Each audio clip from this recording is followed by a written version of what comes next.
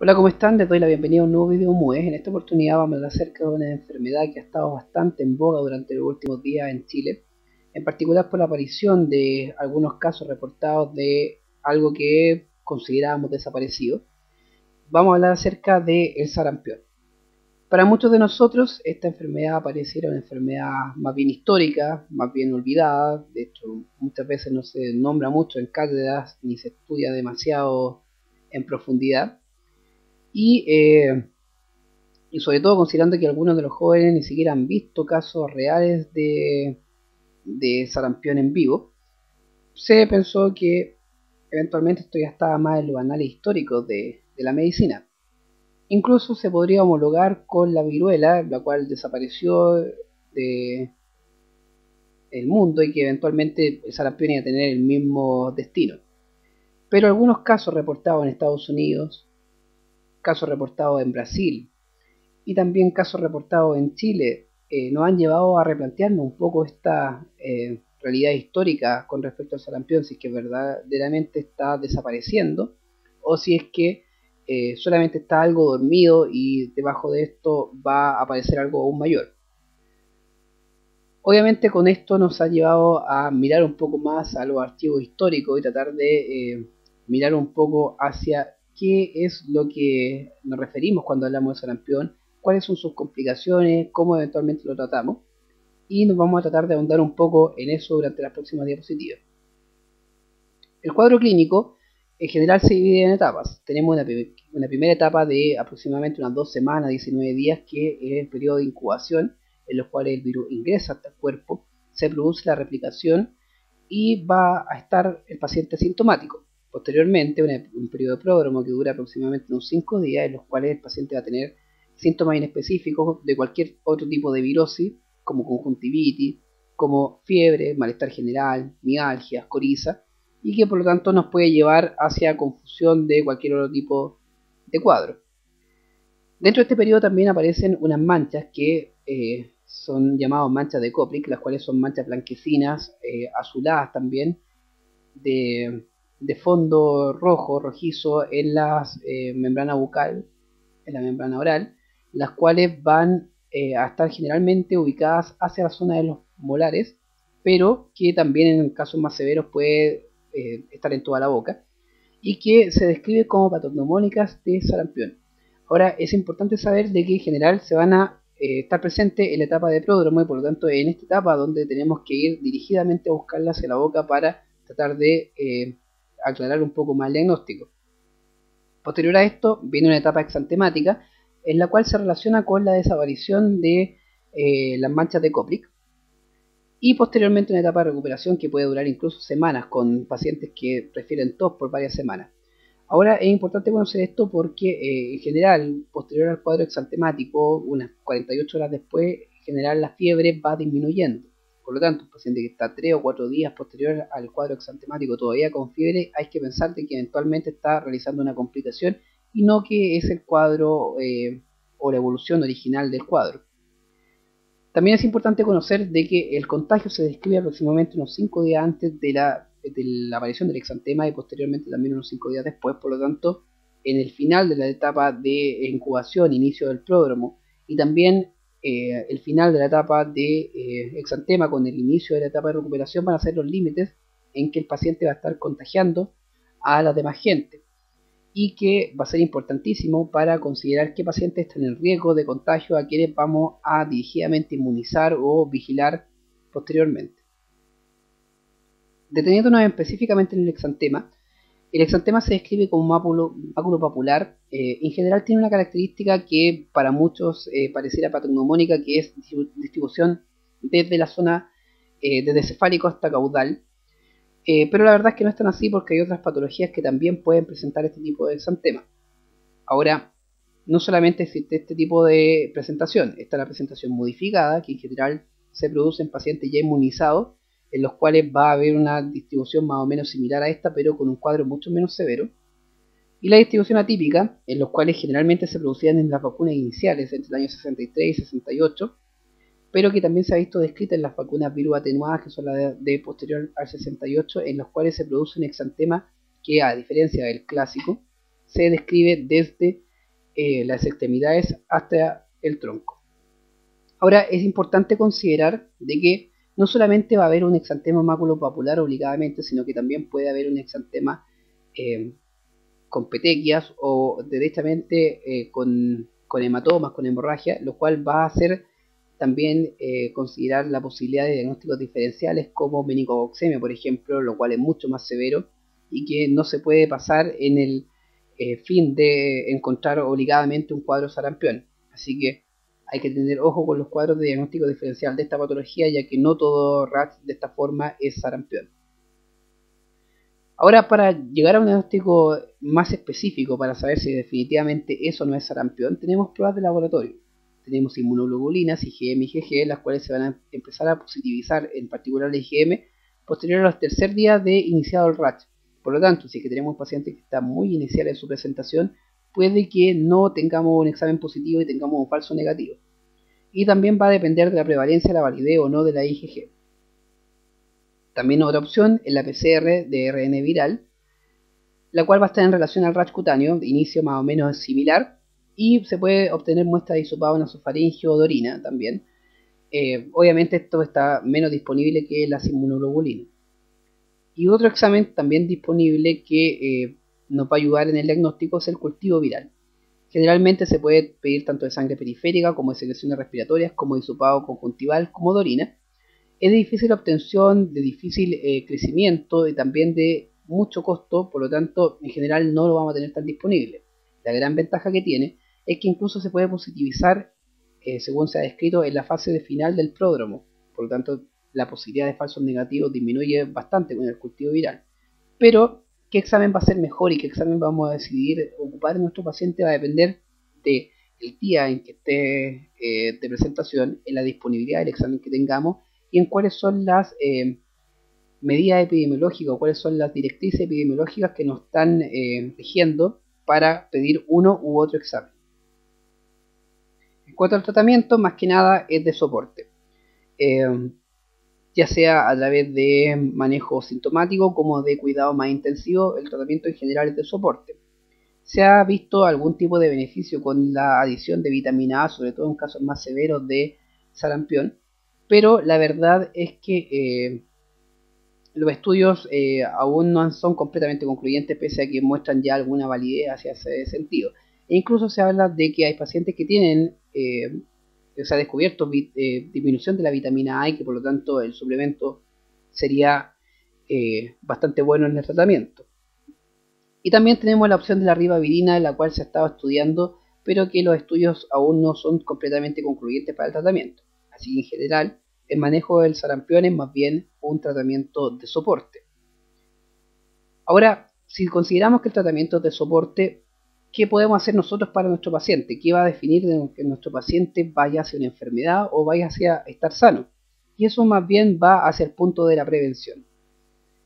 Y para la prevención vamos a conocer algunos números que son importantes en, eh, el desarrollo de esta, de esta temática de la prevención en el sarampión. Previo a los 60, el 95% de los niños eh, a los 12 años ya tenía eh, algún caso de sarampión, o sea, ya tenían la enfermedad en algún momento de la vida. Tiene un 75% de tasa de ataque, por lo tanto, la mayoría de la gente eh, que está expuesta eh, a alguien con sarampión y que tiene susceptibilidad de ser infectado va a ser infectado, o sea, en un 75%, lo cual explica la gran tasa de prevalencia de la enfermedad previa a los años 60. En el año 63 esto cambia algo y esto cambia por eh, el desarrollo de la vacuna, inicialmente en el año 63, en la cual se extrae sangre de enfermos de sarampión, en los cuales uno de estos logra finalmente dar con el, con el compuesto suficiente como para realizar la vacuna. Posterior a eso vemos que se produce una disminución dramática de los casos. Por ejemplo, en 2010 se calcula aproximadamente, porque es difícil calcularlo eh, estadísticamente el número real, que serían 4,6 a 1,6 por mil habitantes, que comparado con el 95% previo a los 60, claramente vemos que es una disminución muy significativa. Otro número que es importante es el de las tasas de complicaciones, la cual va de entre el 2 y el 20%, y es aquí donde está la mayor preocupación, porque en general un rash cutáneo no va a producir grandes cosas, pero las complicaciones del sarampión son las que realmente uno debe temer. Dentro de las complicaciones que tiene el sarampión, hay algunas complicaciones respiratorias, en las cuales destaca la eh, neumonía, la bronquitis, la eh, también. Algunas complicaciones neurológicas, por ejemplo, encefalitis, en las cuales va a llevar muchas veces, incluso hasta en un cuarto de los pacientes, a dejar secuelas neurológicas severas. La encefalomielitis diseminada aguda, en eh, las cuales eh, se describe una enfermedad desmelinizante la cual eh, el paciente puede desarrollar desde cambios de personalidad hasta eh, compromisos de, la, de, la, movilidad y de extremidades con parecia y con eventualmente hasta estados de coma o convulsiones, estados convulsivos o disquinesia. Por lo tanto, y con altas tasas de complicaciones también. Y hay otra entidad que es la panencefalitis esclerosante subaguda que se describe en pacientes que han desarrollado eh, sarampión y que 7 a 10 años después pueden desarrollar esta enfermedad en las cuales se separa por estadios y que también pueden comprometer desde simplemente cambios eh, en la personalidad hasta derechamente coma y muerte con tasas muy altas de complicaciones. Y que por lo tanto eh, son complicaciones muy severas las neurológicas y que se tienen que considerar eh, para eh, saber a qué nos enfrentamos cuando tenemos un paciente con sarampión. Complicaciones oculares como queratitis también son frecuentes, inmunológicas con disminución de, los linfocitos T que pueden producir eventuales eh, inmunodepresiones, complicaciones cardíacas como pericarditis o miocarditis, complicaciones gastrointestinales como hepatitis, eventualmente gingidostomatitis o gastroenteritis que también pueden llevar hacia que nuestro paciente se complique más aún de un simple rash cutáneo. Volviendo a los números, eh, este estudio eh, fue más bien una, revisión del año, de los años 90 en Estados Unidos después de un brote de sarampión, de los cuales se vio que las complicaciones eran aproximadamente un 22%, dentro de las que destacaba diarrea con un 9.4%, otitis media con un 6.6%, neumonía con un 6.5%, encefalitis 0.1%, muerte 0.3%. Eh, esto se considera en Estados Unidos, pero se postula que en los países en vía de desarrollo tiende a ser mayor la tasa de complicaciones y que por lo tanto estos números crecen. Pero consideremos los números de este estudio para eh, el análisis posterior. Supongamos que realmente el número es 0,3% eh, o 0,1%. Eso quiere decir que aproximadamente 1 entre 1000 pacientes o 3 entre 1000 pacientes van a complicarse. Por lo tanto, el paciente que tengamos enfrente con un sarampión es muy poco probable que sea ese 1 entre 1000 o ese 3 entre 1000 que se complique.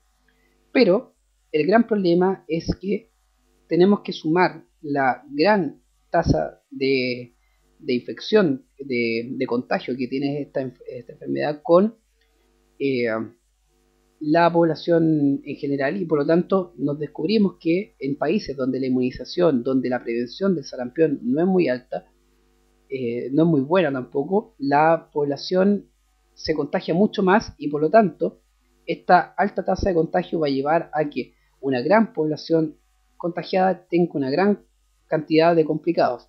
Y producto de eso tenemos que todavía el sarampión es la quinta causa de muerte bajo los 5 años en el mundo sobre todo influenciado por países africanos y asiáticos que tienen, eh, como les comentaba eh, previamente, prevención no muy buena y grandes cantidades de población con la posibilidad de ser infectada y por lo tanto con gran cantidad de población con la posibilidad de ser complicada por eh, sarampión. En particular, nuestra gran arma de batalla es la vacunación con la vacuna MMR. La vacuna MMR es la también llamada trempítica, tiene su nombre debido a la sigla en inglés que eh, describe los virus en los cuales ataca, sarampión, papel y rubiola. Fue desarrollada en el año 63 inicialmente, en el 68 se desarrolló la actual, que es la viva atenuada. Una dosis logra un 93% de efectividad, dos dosis con un 97% de efectividad. En general, la dosis primera se recomienda entre los 2 y los 15 meses, la segunda entre los 4 y los 6 años. Vemos en este gráfico que después de eh, que se aprobó el uso de vacuna, la incidencia de sarampión bajó dramáticamente. Y eh, si comparamos esto con, o, si empatamos esto con los números de pacientes complicados, con las causas de mortalidad, con la quinta causa de mortalidad del mundo, eh, nos damos cuenta que realmente esta quinta causa de mortalidad es bastante, se puede prevenir bastante. Y por lo tanto, tenemos que enfocarnos hacia eso en, el sentido de la salud pública, hacia la prevención a través de la vacunación. Por lo tanto, la vacuna se ve claramente que sí sirve. Ahora, eh, hay algunos detractores de la vacuna y esto en particular empezó a aumentar después del año 98, eh, en particular después de este estudio que fue publicado en el Lancet y que posteriormente el Lancet se retractó de haberlo publicado, se arrepintió de haberlo publicado, eh, en el cual se da algún tipo de relación entre eh, la vacuna MMR y la posibilidad eventual de que se produzca autismo en los niños eh, que fueron vacunados. La verdad es que este estudio tenía un montón de errores al hacerse, un montón de factores que influyeron en que estos resultados se publicaran de esta forma y por lo tanto llevó a que fuera el tercer artículo del Lancet que fuera rechazado completamente de esta revista y que eh, se hiciera un arrepentimiento de haberlo publicado. Por lo tanto, no es un artículo válido como para decir la vacuna no es segura. Posteriormente incluso se han eh, hecho revisiones en las cuales se ha visto que más de 20 artículos refutan la conexión entre el MMR y el desarrollo de autismo. Eh, y estos estudios son mucho mejor hechos que aquel que fue rechazado. Ahora, eh, claramente el aumento de la cantidad de autismo no va relacionado con la vacuna y probablemente va relacionado más a que hoy en día se hace mucho más diagnóstico, por lo tanto tenemos que ser responsables en ese sentido de eh, qué es lo que estamos nosotros también transmitiendo como personal de la salud en conocimiento de la verdadera evidencia con respecto a la vacuna y el autismo. ¿Tiene efectos adversos? Claro que tiene efectos adversos como toda intervención. Hay efectos adversos leves, como fiebre, rash leve, ganglio inflamado, en los cuales se produce una, una prevalencia relativamente frecuente, pero que eh, son leves y no van a producir grandes molestias efectos moderados como convulsiones febriles, dolor y rigidez articular temporal y trombopenia temporal también se han descrito. Eh, tampoco las cosas más importantes son muy frecuentes. Ahora vamos a los que realmente importa, que son los efectos adversos eh, más graves. Eh, casos de anafilaxia se han reportado en 1 en un millón, 1 en un millón, lo cual si empatamos con la mortalidad de 1 en 1000 que tiene el sarampión, claramente es mucho más seguro tener a toda una población vacunada que a toda una población con sarampión. Otros efectos, sordera, estatus convulsivo, coma, compromiso conciencia, daño cerebral permanente, se ha visto en, muy eh, contadas ocasiones, se ha descrito en cierta relación, pero la verdad es que la, prevalencia es tan baja que probablemente el paciente hubiese desarrollado esta misma sintomatología con o sin vacuna y es más que nada una coincidencia.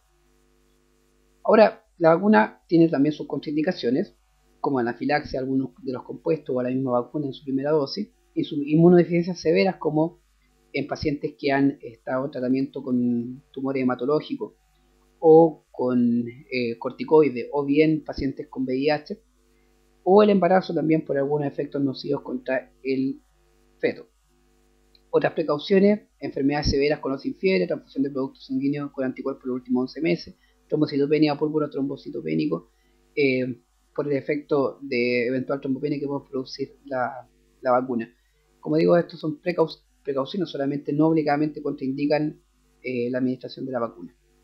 Por lo tanto, la vacuna es bastante segura si tenemos en consideración estas contraindicaciones y eh, no deberíamos tener grandes problemas con las complicaciones de la vacuna en sí. La OMS ha realizado varias campañas eh, lo que ha logrado bastante efectividad en algunas regiones, por ejemplo la América, donde en el año 2000 se declaró erradicado casos endémicos de sarampión, pero todavía hay algunas eh, regiones en las cuales la prevalencia todavía sigue siendo eh, alta debido a una baja inmunización de la población.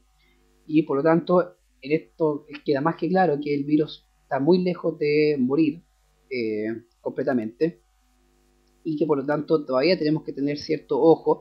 No podemos relajar las medidas vacunatorias y no podemos relajar a la población con respecto a este tipo de enfermedades. Como conclusiones finales, el sarampión no está extinto, claramente todavía falta mucho para eso. Es altamente contagioso, puede tener complicaciones severas y que por lo tanto eh, no es simplemente un ras cutáneo, no es simplemente un exantema cualquiera. Tratamiento es más que nada de soporte y la prevención va a ser lo más importante que vamos a tener como arma frente a esto. La vacuna es segura y es nuestro deber que quede claro que la vacuna es segura, es nuestro deber que la población en general sepa que la vacuna es segura y que lo que se dice en general de la vacuna es más bien mito. Muchas gracias y espero encontrarme con ustedes nuevamente en otra oportunidad.